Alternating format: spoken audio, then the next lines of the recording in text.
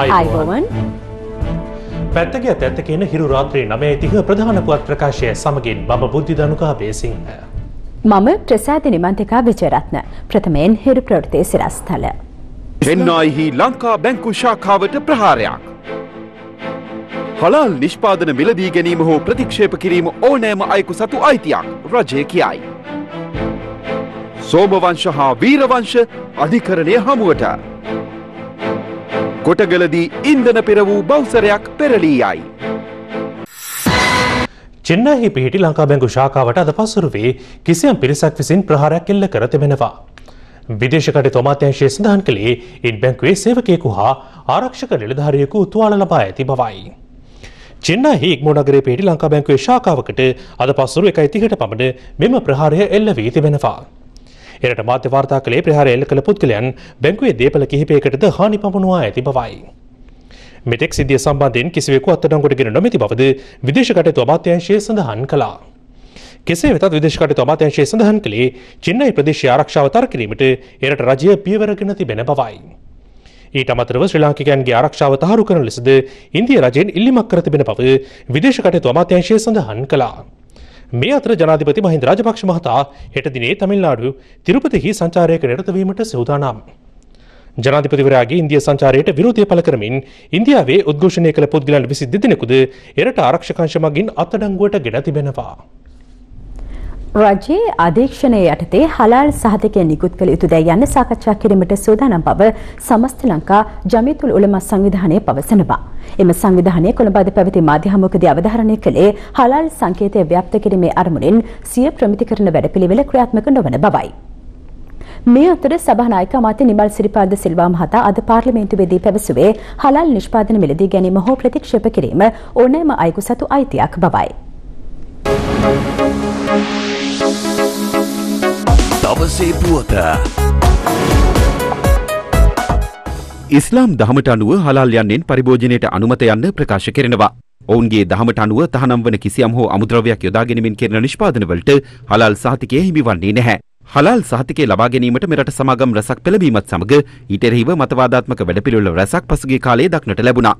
හලල් සාතිකය සෑම බහන්්ඩයකටම ව්‍යප්ත කරමින් මුදල් උපයන බවට නැගෙන චෝදනාව සම්බන්ධයෙන් මෙහිදී මාධ්‍යවේදියෙකු විමසීමක් කළා. හැම එකනටම තියෙන ප්‍රශ්නයක් තමයි මේක ව්‍යාප්ත වෙලා මේ මොනවද මේ කුකුලට ස්ටාර්ට් කරපු හලාල් එක ඇයි මේ වතුරට ඇවිල්ලා තියෙන්නේ? ඒ වගේම සමහර කට්ටිය අහනවා මේ පේන් බ්‍රෂ් වලට හලාල් අවශ්‍ය. ලංකාවට එන සමහර පේන් බ්‍රෂ් වල් ඌරන්ගේ රෝම වලින් හදපු පේන් බ්‍රෂ්. හැබැයි අපි කියන්නේ සිමෙන්ති වලට අපි තාම හලාල් දීලා නැහැ. අවශ්‍යතාවයට අනුකූලව තමයි හලාල් සර්ටිෆිකේට් දෙන්නේ මිස අපිට නැත්නම් මේ කන්සෙප්ට් එක ව්‍යාප්ත කරන්න ඕනේ කියන අවශ්‍යතාවයක් නොවේ. කෙසේ වෙතත් විපක්ෂ නායක රනිල් වික්‍රමසිංහ මහතා ඊයේ පාර්ලිමේන්තුවේදී පැවසුවේ හලාල් සහතිකය ලබාගත යුතු බවට බලපෑම් එල්ල වූ අවස්ථා වාර්තා වන බවයි. හලාල් සර්ටිෆිකේෂන් හලාල් සහතිකය ලබා ගැනීම තනිකරම ස්වේච්ඡාවෙන් කළ යුතු දෙයක්. කවුරු හරි ඒක ගන්න කියලා බල කරනවා නම් ඒ පිළිබඳ පරීක්ෂණයක් පැවැත්වීම සඳහා රජයට බලය තිබිය යුතුයි. අවාසනාවකට දකුණේ ව්‍යාපාරිකයෙක් මට පැමිණිලි කළා හලාල් සහතිකය ලබා ගන්න කියලා ඔහුට බලපෑම් එල්ල වුණා කියලා. ආණ්ඩුව දැන් අපිට කියන්න ඕනේ ඇයි මේ පෞද්ගලික සංවිධානයකට මේ ආකාරයෙන් ප්‍රමිති සහතික නිකුත් කරන්න අවසර දීලා තියෙන්නේ කියලා. මේක ශ්‍රී ලංකා ප්‍රමිති ආයතනයේ යටතේ තියෙන වගකීමක්. මේ වගේ ප්‍රමිතිකරණයකට ජමියතුල් උලමා සංවිධානයට බලතල පැවරීමක් සිද්ධ වෙලා නැහැ. මුළු ලෝකෙම තායිලන්තය බෞද්ධ රටක් ඒ වගේම සිංගපූරුව ඒ වගේම මැලේසියාව මේගොල්ලන් හලාල් සහතිකය දෙන්නේ ආණ්ඩුවේ අනුග්‍රහයත් එක්ක. හැබැයි ලෝකයේ 60කටත් වඩා අධික හලාල් සහතික කිරීමේ ආයතන ආණ්ඩුව යටතේ නැහැ. යම් කිසි ආකාරයක negotiations ආවනම් කොයි රටේ තත්ත්වය අපි අනුගමනය කරොත් හොඳයිද කියන එක ඒ අවස්ථාවල් වලදී අපිට ආණ්ඩුවත් එක්ක කතා කරන්න අපි විවෘතයි.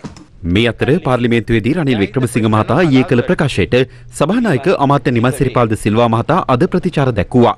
හලාල් සහතික නිකුත් කිරීම පිළිබඳව දරු විපක්ෂ නායකතුමා කළ ප්‍රකාශය හා සමස්ත ලංකා ජමයිල් යතුල් උලමා සංවිධානය පිළිබඳව කර ඇති ප්‍රකාශයට රජය සිය කනගාටු හා ප්‍රසාදය පළ කරයි. සමස්ත ලංකා ජමෙයි යතුල් උලමා සංවිධානය විදේශ බලපෑම් වලින් ඇතිවන අනිසි ප්‍රතිඵල ඉවත් කිරීම සඳහා දැවැන්ත මෙහෙවරක් රට වෙනුවෙන් පසුගිය ජිනීවා සමුළුවේදී ඉටු කළ බව සිහි කිරීමට මේ අවස්ථාවක් කරමි. හලාල් ආහාර හා නිෂ්පාදන මිලදී ගැනීම හෝ ප්‍රතික්ෂේප කිරීමේ පූර්ණ නිදහස ඕනෑම කෙනෙකුට ඇත. එය කිසිවෙකු වෙත බලෙන් පැටවීමටද ඉඩ නොදෙන බව ප්‍රකාශ කරමි. මේ අතර කැබිනට් තීරණ දැනුම් දීමේ මාධ්‍ය හමුවේදී හලාල් සාතිකය නිකුත් කිරීමේ ක්‍රමවේදය පිළිබඳ අමාත්‍ය කෙහෙල ඉංගලේ රඹුක්වැල්ල මහතාගෙන් ප්‍රශ්න කෙරුණා. ආගමක නිදහස තියෙන්න ඕනේ. ආගමක නිදහස තියෙන අතරතුර රටක නීතියට මූලික නීතියටත් ගරු කළ යුතුයි. ඒ කාටත් උවමනා උවමනා ආකාරයට හසුරවන්න දෙන එක මං හිතන්නේ මට නම් පෞද්ගලිකව මං කියනවා එකඟ වෙන්න බෑ කියලා. මේක ඉතාමත්ම බැරෑරුම් ප්‍රශ්නයක්. ජාතිවාදී ආගම්වාදී ප්‍රශ්න ඉස්මතු කරන්නට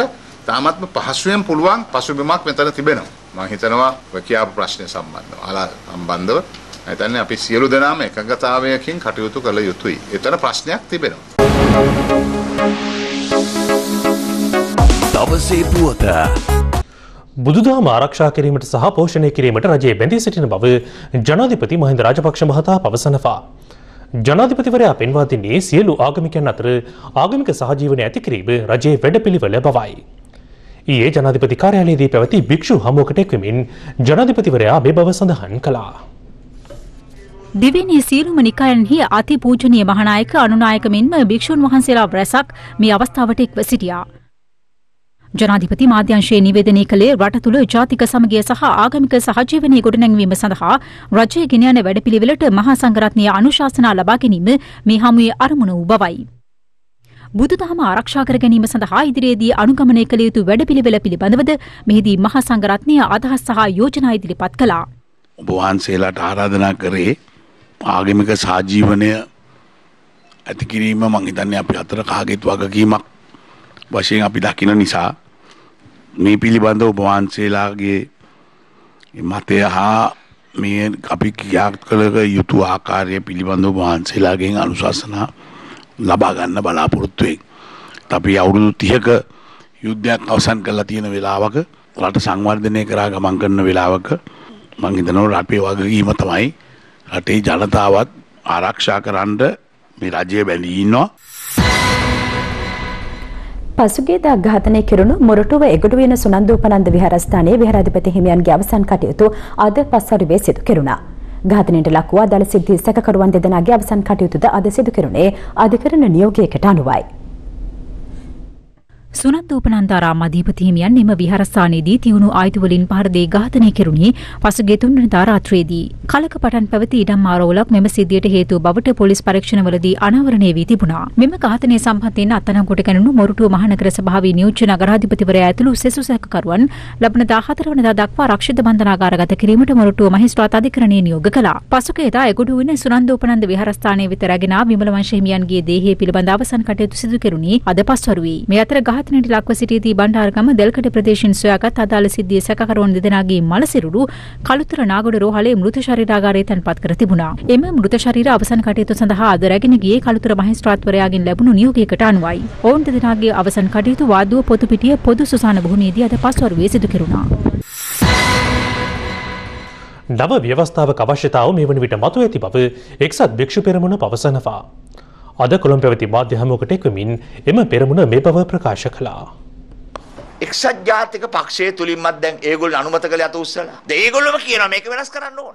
කාටද මේක ඕනේ? මේ විධායක ජනාධිපති අහෝසි කරලා පාර්ලිමේන්තුවට බලය පත් කරන බලවත් කරන වැඩ පිළිවෙලට යන්න. අපි මේ ආණ්ඩු විරෝධී වෙන්න විදිහක් නැහැ. මොකද මහින්ද චින්තනයේ දෙපාරක් මේක සඳහන් වෙනවා. මම බලයටපත් වුණාම පාර්ලිමේන්තුවට වග කියන නායකයෙක් පත් කරනවා. එකම මැතිවරණයකින් වැඩිම ආසන සංඛ්‍යාවක් ගත්ත පක්ෂයේ නායකයා රටේ නායකයා වෙනවා. ඒ පොදු පෙරමුණක නායකයා නම් ඒක නායකයා වෙනවා. ඒක අවුලක් නැහැ. ඉතින් මේ හාමුදුරුවෝ ටික එකතු වෙලා ඉන්නේ.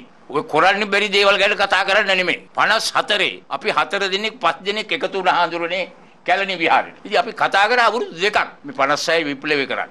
77 ඔය ආණ්ඩු පෙරළියේ අවුරුද්දක් හිරබත් කෑවම දැන් මැති සභය විශේෂාංකය.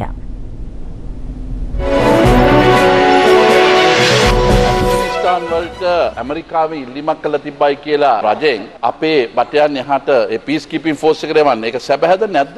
යන්නේ කොහෙද මල්ලේ පොල් කියලා කතාවක් තියෙනවා. ප්‍රශ්න එකක් දැන් වෙන මොකද්ද අහනවා. හයිටි යවනවා, කෙනියා යවනවා, සුදාන් යවනවා. මේ ඇෆ්ගනිස්තාන් යන ප්‍රශ්නයට උත්තර දෙන්න. නියෝජ කතානායකතුමනි අර පැරණි එකක් තියෙන ළඟදී සමාගම වැහුවා. his master's voice කියන එක. ඒ සමාගම වැහුවා. ළඟදීම පත්වෙන නියෝජනායකතුමනි අහන්න ප්‍රශ්නේ. නෑ ඒක ඒක මේකට අදාළ නෑනේ. තේරුම් නැති ප්‍රශ්න අහන්නේ. මේ රටේ තොටේ හන්දියක හම්බෙච්ච අය මොකක්ද කිව්වා කියලා මේ ඇවිල්ලා ආන. මහින්ද චින්තන ඉදිරි දැක්මේ 13 වෙනි පිටුවේ හෙද සේවය සඳහා ජාතික ප්‍රතිපත්තියක් සකස් කරන්නෙමි. මහින්ද චින්තන ඉදිරි දැක්ම කියන පිටුවේද 13 වෙනි පිටුවේ. 13 වෙනි පිටුවේ එහෙම දෙයක් සඳහන් වෙන්නේ එහෙනම් මේ මන් ළඟ තියෙන මහින්ද චින්තන මම ඉදිරි ඒක තමයි දැක්ම බලන්න. මේ මංගාව තියෙන මහින්ද චින්තන ඉදිරි දැක්ම මහින්ද චින්තන ඉදිරි දැක්ම එතුමාට මහින්ද චින්තන ඉදිරි දැක්ම එතුමා කියන මහින්ද චින්තන ඉදිරි දැක්මනේ තියෙනවා. මම ඔබතුමාට එවන්නම් ඔබතුමාගේ දැනගැනීමට මෙන්න. මේ ගණන් පෙන්නන්න. ඔබ මාළක තියෙන මහින්ද චින්තන ඉදිරි දැක්මේ 13 වෙනි පිටුවේ එහෙම දෙයක් සඳහන් වෙන්නේ නැහැ. ඔබතුමා ළඟත් තියෙනවා ඡායා පිටපත මන් දැන් දීලා. දැන් ඔබතුමා කියන්නේ ඔක බොරුවක්ද කියලා? අවසාන පිළිතුරු දීමේ බලය තියෙන්නේ අදාළ ගරු අමාත්‍යවරයාට. තප්පුලන වගේ දෙපැත්තෙන්. පුත්තලම් බූරුවෝ කියමින් පුත්තලම් බුද්ධිමත් ජනතාවට අපහාස කරුවා. ඔබතුමා පොඩ්ඩක් එතුමාට ඉඩ දෙන්න තිබේ මොකද හරි එක්කෙනා නැගිට්ටා. මහින්ද චින්තනයේ මතට තිත තියෙනවා කියනවා සූදු හොඳ නැහැ කියනවා නමුත් ඒකම ක්‍රියාත්මක කළා මේ ප්‍රදේශ තාම ඉලක්කය කළා නැහැ මේ දර්ශනය මුලින්ම පටන් ගත්තේ එක්සත් ජාතික පක්ෂේ. එක්සත් ජාතික පක්ෂේ තමයි ජෝසිම් මැතිතුමා ලංකාවට ගෙනල්ලා තමුන්නාස්ලාගේ ජනාධිපතිතුමාගේ අල්ලපු පුටුවේ තිබුණේ ජාතික උත්සවවලදී. අපිටනේ චෝදනා කරන්නේ. මේ සභාවෙන් සම්මත කරපු පනතක් අඩු- අනුව ඒක කටයුතු කරනවා. ඒ සඳහා අපි වෙනම ප්‍රදේශයක් නම් කරලා සංචාරක ව්‍යාපාරයත් එක්ක බද්ධ කරලා ඒ කටයුතු කරනවා. මේ ඇමතුමා එක්සත් ජාති පක්ෂේ ඉඳන් පොදු ජනපිරට ගියා දැන් කියනවා අපි කරපු එක හොඳ නැහැ කියලා. අපි හෙට ගේනවා නීතියක් මේ සියලුම මේ මේ කැසිනෝ වහන්න ඕනේ කියලා. නෑ එතුමාගේ සිහිනයක්. ඔබතුමා මෙතන විවාද කරන්න නෙමෙයි. මෙතන විවාද කරන්න ඔබතුමා කතාව පැවැත්තුවා. අපිට බලාපොරොත්තු වෙන්න කවදාවත් බැරි තමුන්නාස්ලාගේ ආණ්ඩුවක් පිහිටෙව්වොත් ඒ විදිහේ නීති කියන්න. අපි ආණ්ඩුවෙන් ගෙනාපු නීති අර්ථය අපි කටයුතු කරනවා.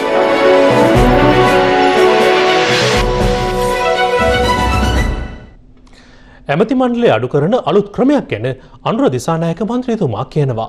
ඒ මොකක්ද කියලා බලමු රට වට කර බැන්දත් කටවට කර බඳින්න බැරි වැට නැති කටෙන්. අම්ම කෙනෙක් උදේ නැගිට අවස්ථාවේ පටන් කෑම බීම හදලා ඇඳුම් මද්දලා දරුවෝ පාසලට පිටත් කරන්න. තමන් සතු සියලුම වියදමේ වැඩිම කොටසක් දෙමව්පියෝ දරන්නේ මේ දරුවගේ අධ්‍යාපනයේ. ළමයට කියන බෙස් එක පුටුව නෑ. අම්මා තාත්තට දෙන්න හැකියාව නෑ. පාන් කෑල්ල කවල යවන්නේ. පන්සිල් පද පහ දෙනකොට එක එකක්වත් හිටගෙන නෑ.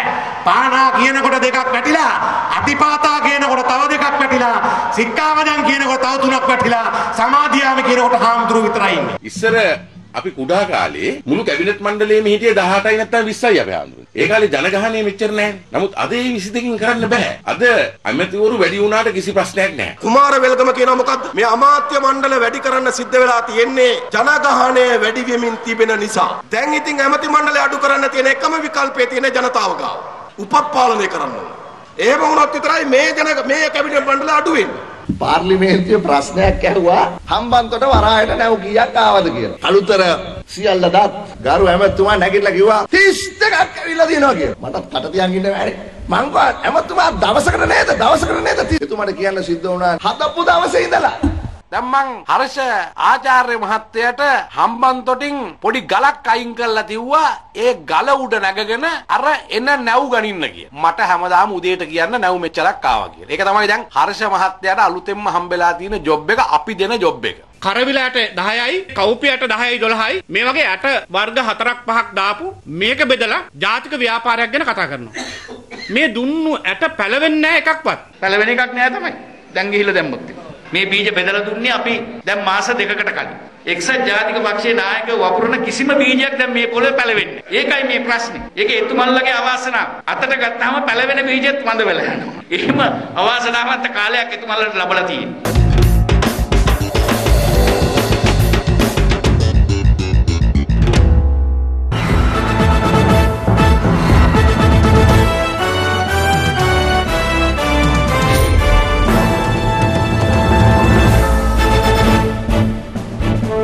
ඔබ නැවතත් හිරු ප්‍රවෘත්තිය සමඟ.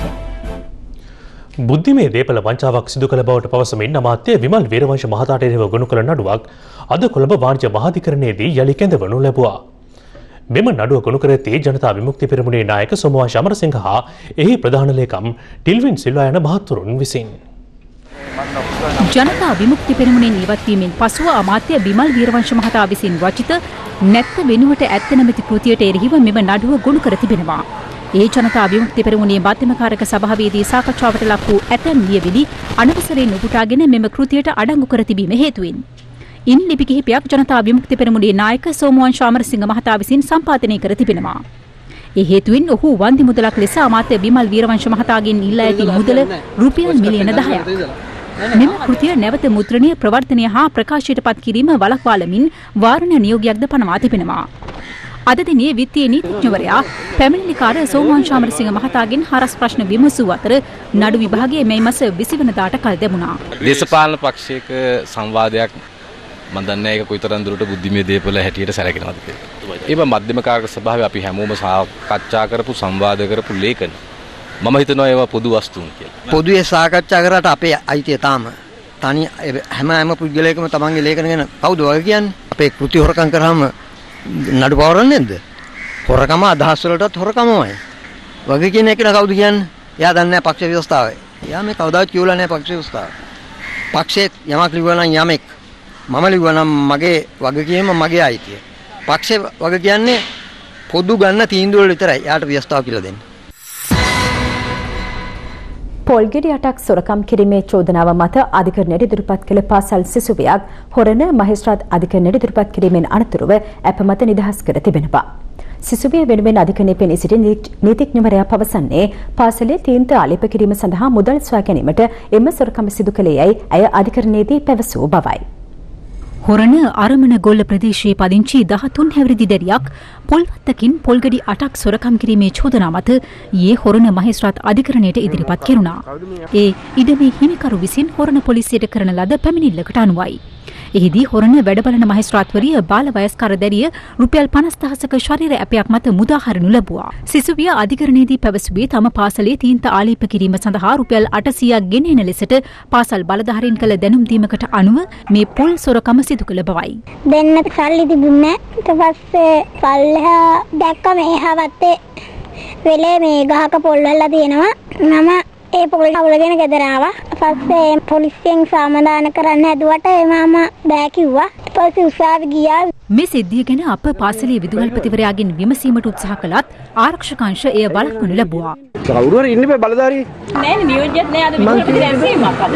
සාමාන්‍ය රැස්වීම තියන්නේ කොහෙද? මම දන්නේ ඉතින් එහෙම අපිට කියන්නේ නෑ නේ හැමදේම. හොයලා බලන්න පොඩ්ඩක්. මේ සිසුවිය වෙනුවෙන් නීතිඥවරුන් දෙදෙනෙක් නොමිලේ අධිකරණය හමුවේ පෙනී සිටියා. දැරිය අපිට දැනුම් දුන්නේ පාසලෙන් රුපියල් 800ක් පාසලේ තින්ත ගන්න රැගෙනීමට දැනුම් දුන් බව. ඒ අනුව මේ දැරියට කරන්න දෙයක් නැති නිසා මේ රුපියල් 800 හොයාගන්න මේ අසල වත්තකින් පොල් ගෙඩියටක් ලබාගෙන තියෙනවා. සොරකම් කිරීම අපි අනුමත කරන්නේ නැහැ. කර කියා ගන්න දෙයක් නොමැතිකමට මේ දේ කරපු තත්ත්වයක් පැහැදිලි වුණ නිසා අපි ඒ දරුවා වෙනුවෙන් අවශ්‍ය නීති සහාය ලබා දීලා දරුවා මේ තත්ත්වයට පත් වුණ කාරණේ තේරුම් අරගෙන නීතිපති දෙපාර්තමේන්තුවෙන් ඉල්ලීමක් කරන්න අදහස් කරගෙන ඉන්න මේ දරුවව මුදා හරින්න කියලා මොකද අපරාධ නඩු විධාන සංග්‍රහයේ ප්‍රතිපාදන ගොඩක් තියෙනවා වගේ අවස්ථාවල් වල සැකකරුව මුදා හරින්න. මේ සිද්ධිය සම්බන්ධයෙන් කැබිනට් මණ්ඩලයේද අවධානය යොමු වී තිබුණා. අතිගරු ජනාධිපති මහින්ද රාජපක්ෂ මැතිතුමා ඉතාමත්ම සංවේදී ලෙස මේ ප්‍රකාශයක් කරා මේ පිළිකුල් සහගත ක්‍රියාමාර්ගයක් හැටියට. ඒ වගේම අධිකරණ අමාත්‍ය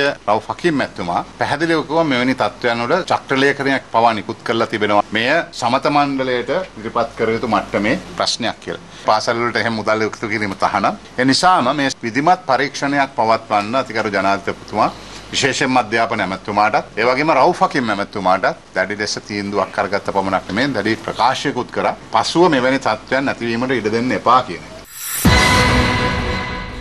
මෙරට අධ්‍යාපනය මුදල් ලිපිය හැකි හුමාරු මාණ්ඩයක් බවට පත්වමින් තිබෙන බව විශ්වවිද්‍යාල ආචාර්යවරුන්ගේ සමිති සම්මේලනයේ සභාපති ආචාර්ය නිර්මා රංජිත් දේවසිරි මහතා පවසනවා. ඔහු මේ අදහස් පළ කළේ අද කොළඹදී පැවති උත්සවයකට එක්වෙමින්. උපාධිධාරී මධ්‍යස්ථානයේ සමාරම්භය වෙනුවෙන් මෙම උත්සවය සංවිධානය කර තිබුණා. උපාධිධාරීන්ගේ ගැටලු සහ අයිතින් දිනා ගැනීමට ඒකාබද්ධ වීම උපාධිධාරී මධ්‍යස්ථානයේ ගොඩනැගීමේ මූලික අරමුණයි. කොළඹ මහජන පුස්තකාල ශ්‍රවණාගාරයේදී පැවති මෙම උත්සවයට උපාධිධාරීන් මෙන්ම වෘත්තීය සමිති කිහිපයක නියෝජිතයින්ද එක්ව සිටියා.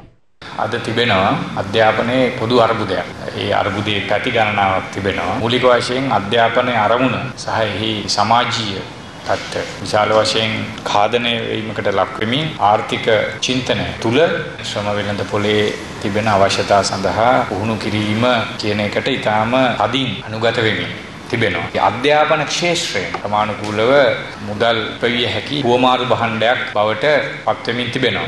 මේ අතර කම්කරු අරගල මධ්‍යස්ථානයේ සංවිධායක ලේකම් චමිර කොස්සත්ත මහතා පැවසුවේ රජයේ ඇතැම් දේශපාලන අභියෝග සඳහා ඉදිරියේදී උපධිධාරීන් ගොදුරුවීමේ අවධානමක් පවතින බවයි. දැන් අධිරාජ්‍ය විරෝධය ගැන බොරුවට තැප්පිළුවට වැඩක් නැහැ. මේ සියලු දෙනා ක්‍රියාත්මක කරන සමාජාර්ථික දේශපාලන වැඩපිළිවෙල ඇතුලේ තමයි මේ ප්‍රශ්නේ අඳුනගන්න තියෙන්නේ. මේ ධනපති ආණ්ඩු මුහුණ දෙමින් තිබෙන්නේ රාජ්‍යාංශය කෙමෙන් කුඩා කිරීමේ දේශපාලන අභියෝගයට. ඒ නිසා හෙට ඔය 54000ක් වන උපාධිධාරීන්ව පෞද්ගලික මෑන් පවර් කොම්පැනියකට අනියුක්ත කරලා ඔවුන් නරහා අමාත්‍යාංශවල රජයේ පුරප්පාඩු ටික පුරව ගන්න තැනටපත් වුණොත් ඒක තමයි ගමන් මඟ. මේ බොහෝ දෙනාට මේ භූමියේ කරන්න බැරි වෙලා තියෙන කාර්යය තමයි මේ විෂම චක්‍රය කඩන එක. දෙදහස් එකොළහ දෙදහස් දොළහ අධ්‍යන වර්ෂය සඳහා විශ්වවිද්‍යාලයට සිසුන් ඇතුළත් කර ගැනීමේ කඩයම් ලකුණු හැකි ඉක්මනින් නිකුත් කරන බව විශ්වවිද්‍යාල ප්‍රතිපාදන කොමිසන් සභාව අද ශ්‍රේෂ්ඨාධිකරණයට දැනුම් දුන්නා. ඒ මේ සම්බන්ධයෙන් මතුව තිබූ ගැටලුකාරී තත්ත්වය මගහරවා ගැනීමට විශ්වවිද්‍යාල ප්‍රතිපාදන කොමිසන් සභාව ඉදිරිපත් කළ යෝජනා ශ්‍රේෂ්ඨාධිකරණය අනුමත කිරීමෙන් අනතුරුවයි. දෙදහස් එකොළහ දෙදහස් දොළහ අධ්‍යන වර්ෂය සඳහා පෙර වසරවලට වඩා සිසුන් පන්දහසයිසිය නව දෙනෙකු බඳවා ගන්නා ලෙසට ශ්‍රේෂ්ඨාධිකරණය මීට පෙර නියෝග කළා. කෙසේ වෙතත් එලෙස සිසුන් බඳවා ගැනීමේදී ඇතැම් දිස්ත්‍රික්කවල සුදුසන් නොමැති බව විශ්වවිද්‍යාල ප්‍රතිපාදන කොමිෂන් සභාව අධිකරණයට දැනුම් දී තිබුණේ මෝසමක් මගින්. ඒ අනුව ශ්‍රේෂ්ඨාධිකරණය අද එම මෝසම කැඳවූයේ අගවිනිසුරු ප්‍රමුඛ ත්‍රිපුද්ගල විනිසුරු මඩු ලක්හමුයි. එහිදී කොමිසම සඳහන් කළේ නැටුම් සංගීතය වැනි පාඨමාලා හැදෑරීමට සුදුස්සන් තෝරා ගැනීම සඳහා ප්‍රායෝගික පරීක්ෂණයක් පැවැත් වූ බවයි. නමුත් එම පරීක්ෂණය අසමත් වීම හේතුවෙන් ඇතැම් දිස්ත්‍රික්කවල විශ්වවිද්‍යාලවලට බඳවා ගැනීමට සිසුන් නොමැති බව කොමිසම සඳහන් කළා. එසේම විශ්වවිද්‍යාල ප්‍රතිපාදන කොමිසම පැවසුවේ නියමිත ප්‍රමාණයට වඩා තේරීපත් වූ සිසුන් සිටින දිස්ත්‍රික්කද ඇති බවයි. එය අනුව පුරප්පාඩු වන සිසුන් වෙනුවෙන් වෙනත් දිස්ත්‍රික්කවලින් සිසුන් බඳවා ගැනීමට අනුමැතිය ලබා දෙන ලෙස කොමිසම ඉල්ලා සිටියා. ශ්‍රේෂ්ඨාධිකරණයේ එම ඉල්ලීම අනුමත කළ අතර හැකි ඉක්මනින් කඩයිම් ලකුණු නිකුත් කර සිසුන් විශ්වවිද්‍යාලවලට බඳවා ගන්නා ලෙසද සඳහන් කළා. මෝසම කැඳවීමෙන් අනතුරුව මාධ්‍ය වෙත අදහස් දැක් වූ උසස් පෙළ සිසුන්. අනිද්දම අපේ කඩේම ලකුණු ලැබෙයි කියලා අපි බලාපොරොත්තු වෙනවා. ඒ නිසා ගොඩක් සතුරු දවසක් මේ ප්‍රශ්න සියල්ල ඉක්මනින් ඉවරලා අපි ප්‍රාර්ථනා කරන්නේ පුළුවන් තරම් ඉක්මනට අපි කැම්පස් වල ගන්න අපි අධ්‍යයන කටයුතු ආරම්භ කිරීම සඳහා ඉතාමත් උනන්දුවෙන් සහ මේ උපේක්ෂාවෙන් අපේක්ෂාවෙන් සිටිනවා. අද ඇත්තටම අපිට ගොඩක් සතුරු දවසක්. පෙර රිසර්ච්කෝ අවුලෙන් මිදිලා දැන් ඔක්කොම නිදහස් වෙලා නිරාකරණය වෙලා තියෙනවා. ඒ වගේම අයියේ ඔයගොල්ලන්ගේ හිරු ටීවී එකටයි අනිත් මාධ්‍ය හැම එකටමත් ගොඩක් ස්තුති කරන්න ඕන. අපිත් එක්ක ඉසෙට්ස්කෝ ආයි නිවැරදි කරගෙන මේක අපිව නිවැරදි ලෙස ඇතුළත් කරගන්න ඔගොල්ලෝ උදව් වුණාට. මගේ පස්රතවල ජංගම වෙළදාම නැවැත්වීමට එරෙහිව අද කොළඹ කොටුවේදී උද්ඝෝෂණයක් පැවැත්වුණා. දිවිනේ විවිධ ප්‍රදේශ නියෝජනය කරමින් සංචාරක වෙළතුන් බේසදායක්ව සිටියා. අද පෙරවරුවේ මෙම උද්ඝෝෂණය කොළඹ කොටුව දුම්රියපල ඉදිරිපිටදී පැවැත්වුණා. ඒ සඳහා වෙළඳ සංගම් නියෝජනය කරමින් දිවයිනේ විවිධ ප්‍රදේශවල සංචාරක වෙළඳුන් පැමිණ සිටියා.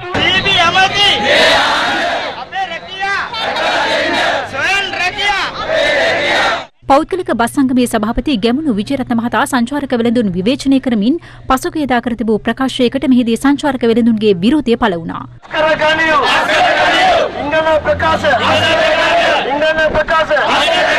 කැතයි කැතයි! කැතයි කැතයි! විජේ ගැමුණු විජේ පැය දෙකක පමණ කාලයක් පැවති මෙම විරෝධතාවට වෙළඳුන් දෙදහසකට ආසන පිරිසක් එක්ව සිටියා. මෙහිදී අදහස් දැක්වූ ස්වයං රැකියා සම්මේලනයේ සභාපති මහින්ද කහඳකමගේ මහතා. ඒක නිසා අපි අපි පැහැදිලි මොන කෑගන්න දින්න මේ සෞදුරු අපි කියනවා ගැමුණු විජේසුන්දරට මතක තියාගන්න. මේ ඇප්පෙන්නේ ලංකාවේ නිර්දල පන්තියත් එක්ක. ඒක නිසා මේ සටනත් එක්ක ඇප්පිලා නිකන් සෞත් වෙන්නේ නැතුව මේ කාලකන්ණි ඉංගන්නු කිව්වේ කීමන? ඉල්ලා අස්කරගෙන බස් සේවකයන්ට වාහන අයිතිය ලබා දෙන්න. එසේ බස් වෙළඳුන්ගේ අයිතිය ලබා දුන්නොත් ලබන සතියේ අපි කොළඹට එන පෞද්ගලික බස් සියල්ලම වර්ජනය කරලා අපි මේ බස්වල ටයර් වල නිජගෙන අපේ සටන ජයග්‍රහණය කරනවා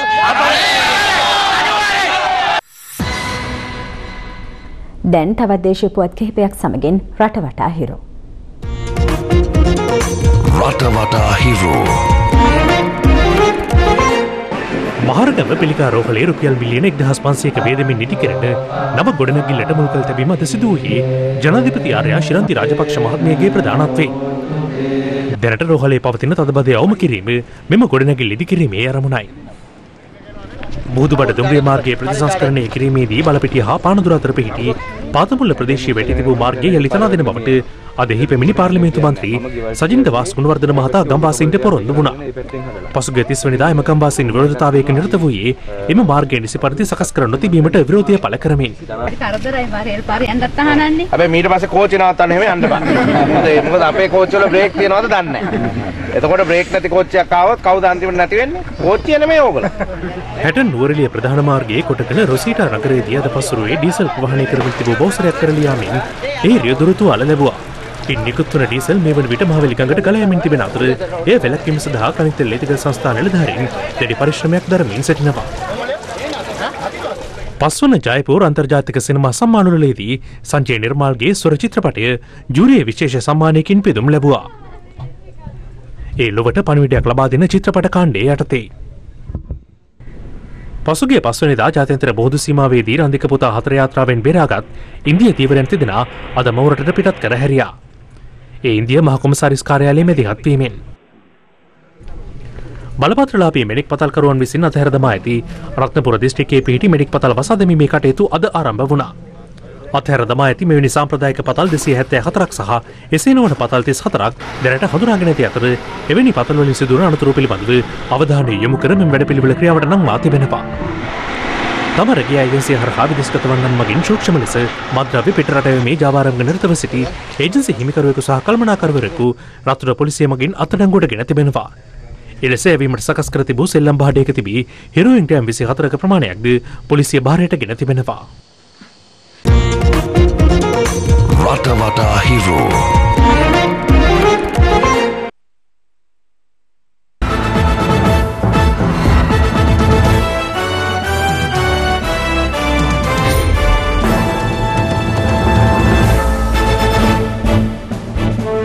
අලිත් හිරු ප්‍රෝර්තිය සමගින් දැන් විදෙස්පුවත්. ටියුනිසියානු අගමැති හමාඩි ජෙබාලි එරට කැබිනට් මණ්ඩලය විසිරුවා හැර තිබෙනවා. එළඹෙන ජුනි විසිතුන් වෙනිදා පැවැත්වීමට නියමිත මහමැතිවරණයට පෙර අපක්ෂපාති නව සමුහාණ්ඩුවක් පිටුවීම මෙහි අරමුණයි. ඒ පිළිබඳ තොරතුරු සහ තවත් පුවත් සමගින් දැන් ලොව වටා හිරු. ලොව වටා හිරු. ටියුනිසියානු විපක්ෂයේ ප්‍රබල දේශපාලඥයෙකු වන ශොක්‍රි බොලොයිඩ් ඝාතනය කිරීමට විරෝධය පළ කරමින් ටියුනිසියාව පුරා උද්ඝෝෂණ ව්‍යාපාර ක්‍රියාත්මක වුණා. අදාළ ඝාතනය සම්බන්ධයෙන් ටියුනිසියානු විපක්ෂය විසින් එරට පාලනය ගෙන ගිය එන්නහද ඉස්ලාමීය පක්ෂයට චෝදනා කර තිබෙනවා. චෝදනා ප්‍රතික්ෂේප කළ එන්නහද ඉස්ලාමීය පක්ෂය පවසන්නේ කැබිනට් මණ්ඩලය විසිරුවා හැරීමට එරට අගමතිවරයා ගත් තීරණයට දැඩි විරෝධය දක්වන බවයි. උතුරු කොරියාවෙන් යුදමය ප්‍රහාරයක් එල්ලුවහොත් උසස් නිලධාරන්ගේ අවසරයක් ලබා නොගෙන හෝ ප්‍රතිප්‍රහාරය එල්ල කිරීමට දකුණු කොරියාව සිය හමුදා සෙබළුන්ට අවසර ලබා දී තිබෙනවා. විදෙස් මාධ්‍ය පවසන්නේ පවතින වාතාවරණය මත දෙරට අතර යුදමේ තත්ත්වයක් ඇතිවීමේ අවදානම වැඩි බවයි. මේ අතර ලොව වැඩිම ආරක්ෂාවක් යොදා ඇති දේශ සීමාව ලෙස සැලකෙන උතුරු හා දකුණු කොරියානු දේශ සීමාවේ දෙපාර්ශවයේම හමුදා සෙබළුන් සීරුවෙන් සිටින බවද වාර්තා වනවා. ප්‍රථම වරට කාර්මික මිනිසකු නිර්මාණය කිරීමට බ්‍රිතාන්‍ය සමත් වී තිබෙනවා. රෙක්ස් නම් මෙම කාර්මික මිනිසා නිර්මාණය කර ඇත්තේ සැබෑ මිනිස් මුහුණකට සමාන කෘතිම මුහුණක් සහ කෘතිම ශරීරවයව යොදා ගනිමින්. අමරිකානු ඩොල මිලියනයක් වටින රෙක්ස් දැනට සිටින්නේ ලන්ඩනේ විද්‍යා කෞතුගාගාරයේ. ලොව වටා Hiru.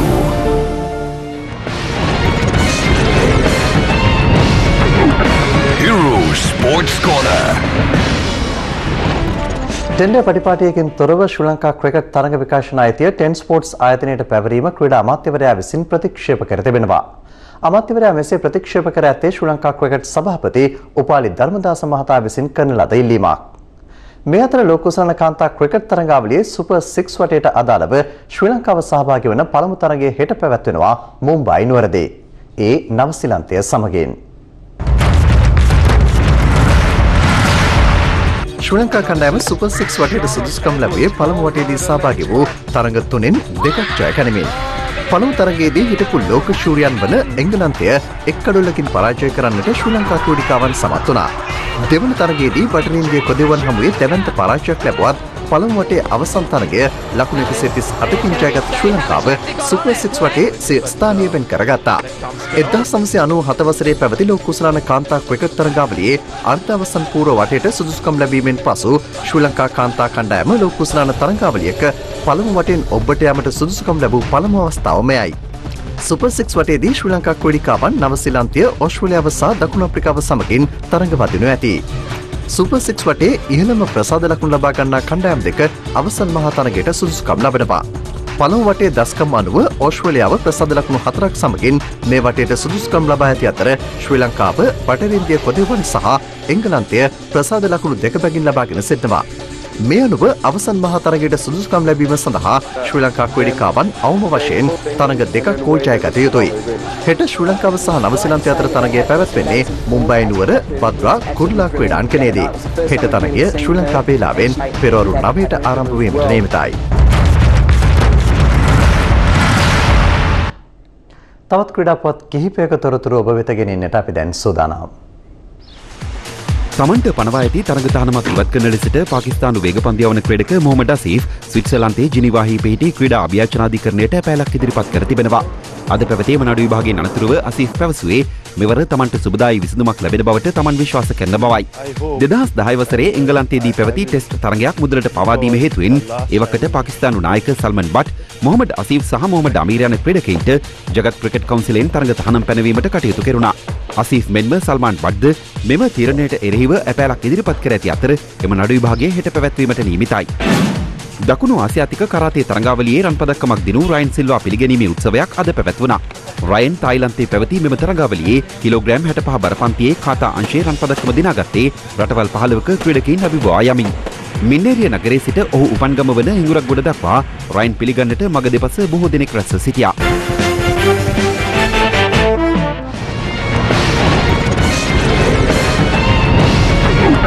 Hero Sports Corner. හිරු රාත්‍රී නමය තිහ ප්‍රධාන පුවත් ප්‍රකාශයමින් නිමාවට පත්වනවා. පැත්තක් නැතුව ඇත්ත දැනගැනීමේ අයිතිය තවදුරටත් තහවුරු කරගන්න ඔබේ ජංගම දුරකථන ජාලය අනුව තෙරෙදෙසන පරිදි හිරු ප්‍රවෘත්ති SMS සේවාව සක්‍රිය කරගන්න. සුබ රාත්‍රියක්.